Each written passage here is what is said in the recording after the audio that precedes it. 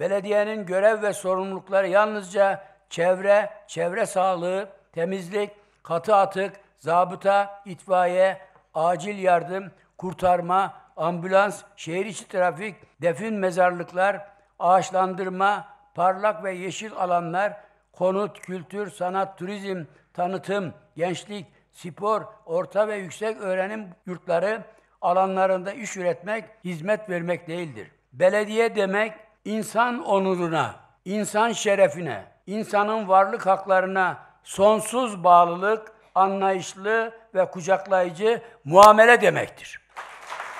İhtiyaç sahibi vatandaşlarımızı görmeyen, gözetmeyen, onların yanında olmayan belediye gerçek manada görev ve sorumluluklarını yerine getirmiş sayılamaz. Bizim belediyeciliğimizde insanı bilmek, insanla can beraber olmak asıldır ve hakimdir. Bugüne kadar Milliyetçi Hareket Partisi ve Cumhur İttifakı yönetimindeki belediyelerde esas ve bağlayıcı husus hep bu olmuştur. Ümit ederim ki bundan sonra da böyle olacaktır. Hizmet edenin himmet göreceğine, dürüst ve samimi olanın dua ve rıza kazanacağına, helal haram ayrımı yapanın iki dünyasını da kurtaracağına iliklerimize kadar inanırız. Bizler günübirlik siyasi hesap ve mevzi kazanımlar peşinde değiliz. Bizim için vatandaşlarımızın huzuru, refahı ve güvenliği her şeyden önceliklidir. Çünkü biz milletimiz huzur ve memnuniyetse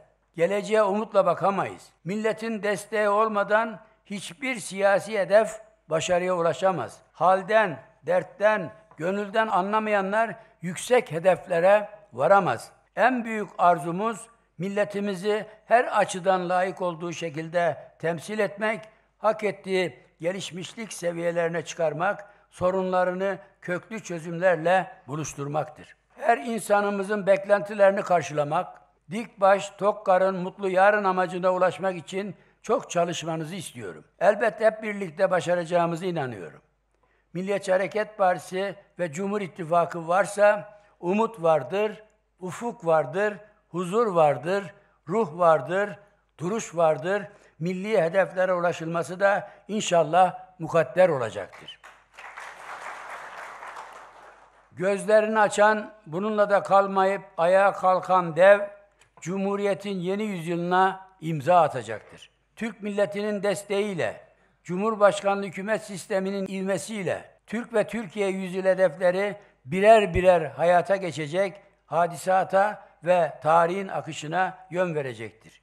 Ayırmadan, ayrışmadan Türkiye için canla, başla çalışacağız.